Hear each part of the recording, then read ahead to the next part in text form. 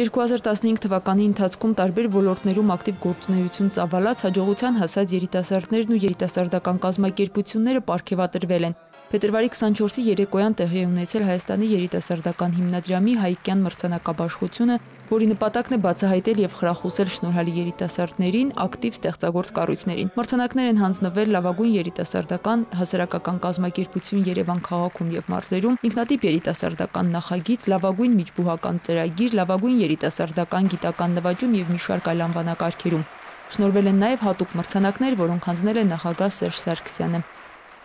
ոգևորիչ է։ Ոգևորիչ է, որովհետև այն ինչին այսօր էլ մենք ականատես եղանք այս դալիճում, կապված է մեր երկրի ապագայի հետ, մեր գալիքի հետ, մեր երիտասարդության ճնշող մեծամասնությունը անկեղծ եմ ասում, փայլուն է ուղղակի պաշտպանում է մեր հայրենիքը, այսօր մեր հանրապետության ամենաերիտասարդական կառույցը հայկական բանակն է։ Հաճախ են հարցնում, թե կամ ինչի ես դու ժամանակի այդքան ծախսում, քո ռեսուրսները, քո միջոցները ներդնում եւ կարիքավորներին օգնում։ Ես կապ եմ պատասխանում, ասում եմ, որովհետեւ կարող եմ, որովհետեւ ուզում եմ, որովհետեւ գիտեմ, որ սпасելով ոչինչ չի ստացվի։ Ա Այսօր ես ուրախությամբ նշում եմ, որ ունենք հրաշալի աշարան, որտեղ մի քանի տասնյակ անապահովներ, կարիքավորներ ծնունդ են ստանում ամեն օր, Այդտեղ ունենք հոգեբանի ծառայություն, բժշկի կենտրոն, բարի խմբակ, երկի խմբակ